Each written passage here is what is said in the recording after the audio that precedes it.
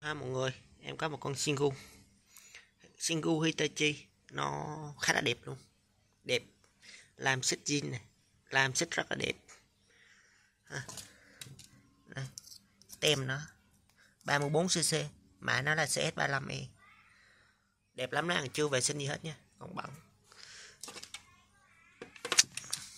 quá đẹp cái này là cái uh, thiếu con ốc này mọi người nó rớt con ốc thôi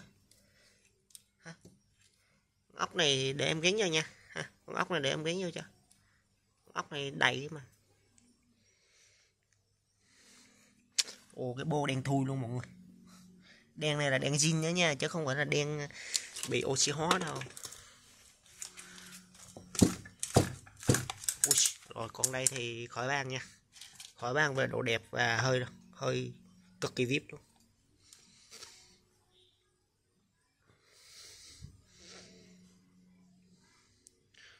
Con này 800 ngàn nha mọi người ha. Con này 800 nha không có bao ship máy đẹp. Cái nước này em nói cái nước nó mà vệ sinh ra là đẹp bá cháy. Bá cháy luôn.